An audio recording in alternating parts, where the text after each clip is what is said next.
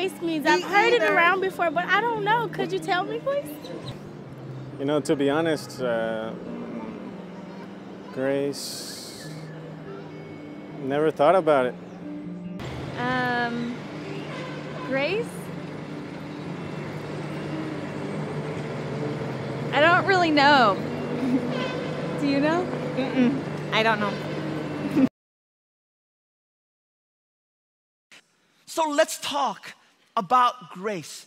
Here's the first question I want to pose to each and every single one of you What is grace? Now, as I've shared before, I think some of us, we've heard this word so often that we've stopped asking what it means and how does it impact my life. A theologian by the name of Paul Enns defines grace in this way. He says, quote, grace may be defined as the unmerited or undeserving favor of God to those who are under condemnation. The Bible says that you and I, because of our sin, because of our rebellion, we deserve judgment, condemnation, and death. Now, I know that in our modern world, it's not cool to be speaking about sin or sinner, but it's important that we're also speaking truth. And in speaking truth, the Bible says that we deserve judgment, condemnation, and death. And what is grace? Grace says, despite what we deserve, God gave us mercy, compassion, love, and grace. He gives us the gift of His Son, Jesus. That's good news. Here's what Paul says in Second Corinthians chapter 5 verse 21. God made him who had no sin to be sin for us, so that in him we might become the righteousness of God.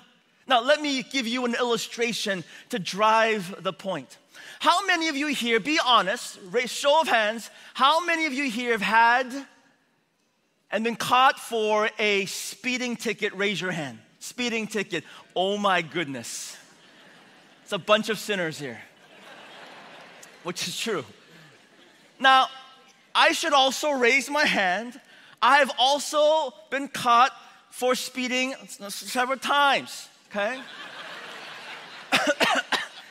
and the first time I received a ticket was when I was, I think, in college many, many years ago. I was driving my first car.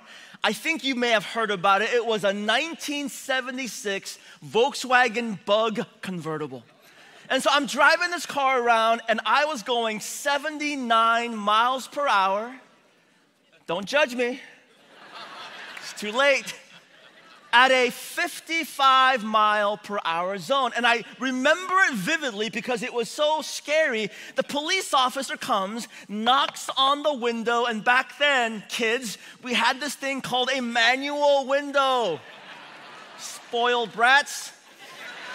And so it takes you about five minutes to roll it down. And so I slowly roll it down, and the police officer says, What? Says, May I have your driver's license and registration?